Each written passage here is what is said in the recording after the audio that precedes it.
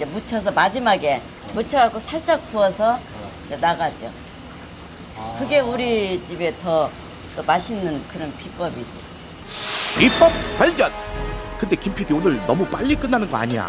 이 양념 어떻게 만드시는 거예요? 양념은 나는 모르죠. 사장님한테 그 물어보셔야 철저한 분업이에요. 저도 몰라요. 모르신다고요? 네.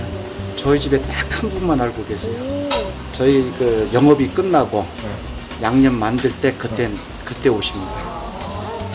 석갈비의 비밀 오직 그분만이 알고 있다. 형제끼리도 비밀이에요. 기다렸다. 밤은 왔다. 그리고 깊어졌다. 손님이 모두 떠난 시간 드디어 그분이 오셨다. 왔다. 석갈비 맛의 비밀은 내 손 안에 있다. 카리스마 장렬 그녀의 정체는 네, 저희 큰형수님입니다. 네. 근데 왜 이렇게 긴장하세요? 아, 저희 저희한테 기술을 가르쳐 주고 굉장히 엄하세요. 잘못하면 혼난다고.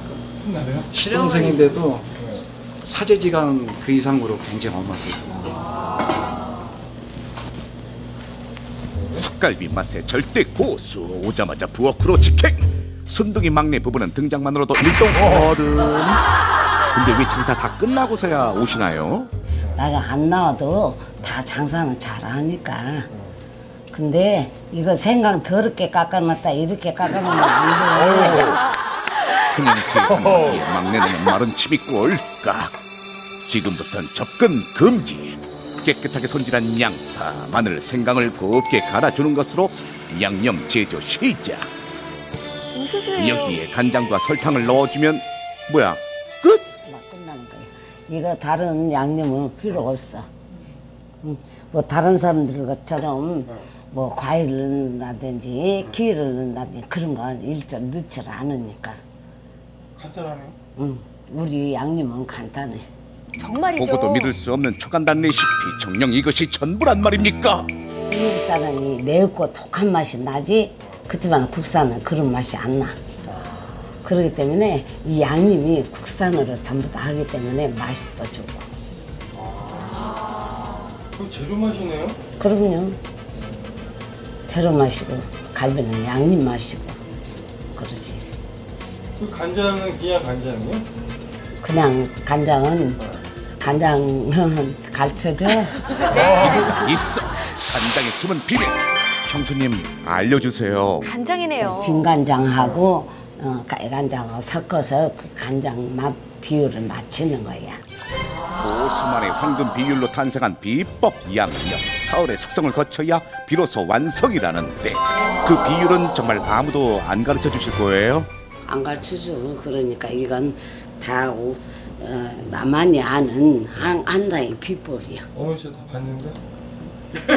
아, 그 피디가 보는 것은 할 수 없지. 촬영하기 위해서 본 것이니까. 아 되게, 되게 간단한데요? 네, 간단하겠죠. 간단한데 네. 음, 알았을 때는 별거 아닌데 네. 몰랐을 때는 그 자체가 노하우라고요. 그렇죠. 우리는 뭐를 몇 프로 몇 프로 뭐를 넣는지 네, 모르니까. 양 자체를 양 모르니까 자체를 들어가는. 종류는 알아도 네. 양 자체를 모르기 때문에 그게 모르는 거예요. 비율이 중요해요. 아무리 동서고 시동생이라도 양념하는 것은 안 가르쳐 주지.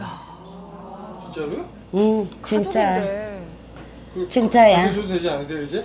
그럼 내가 가르치는 지금 배워갖고 딴 데 가서 풀어먹으려고? 아이고. 절대 안 돼. 그 말씀은 이렇게 하셔도 때가 되면 모두 전수해 주실 거라니 걱정 마십시오 완성된 간장과 돼지고기의 첫 만남에 또 비법은 있다 양념을 고루고루 해야 되니까. 기름기 쏙 뺀 국내산 돼지갈비에 간이 벨 정도로만 살짝 양념을 묻혀주는 게 포인트 이 순간에 또 예사롭지 않은 눈빛 어김없이 그녀가 지켜본다 카리스마가 있어요. 이렇게 막 헷갈리고 보시더라고요. 부담 안 되세요? 뭐, 부담 혼나지. 혼나죠. 맨날 도 혼나는데.